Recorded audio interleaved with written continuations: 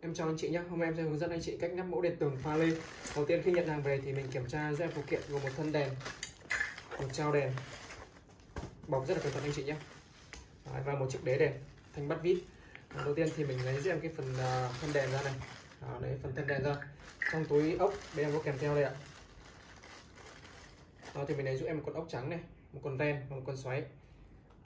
Đầu tiên thì mình sẽ vặn cái phần ren này vào phần thân đèn.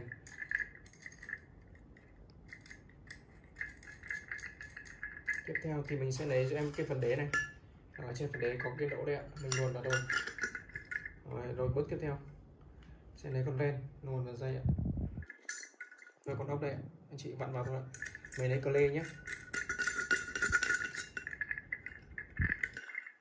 Đấy mình điều chỉnh sao cho hai cái lỗ này nó nằm ngang này.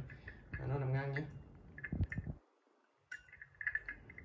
Rồi tiếp theo đây phần gắn trao đèn. Đấy, để ý trên phần đuôi đèn này nó có con ven xoáy anh chị xoáy ra. Đó mình gắn phần trao đây này. Rồi mình lại xoáy ngược lại thôi ạ.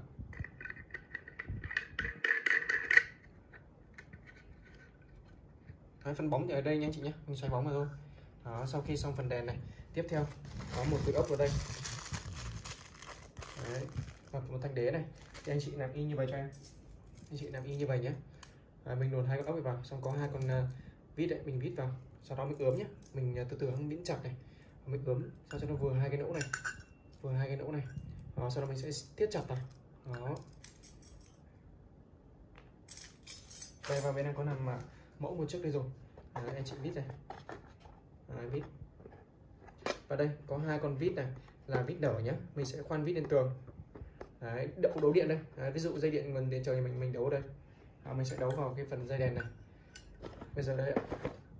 Em sẽ đập à, chiếc đèn tường này lên này. Đập lên này. Đấy, và có hai con ốc vàng này nhé. Hai con ốc vàng thì anh chị chỉ vật vặn vào thôi.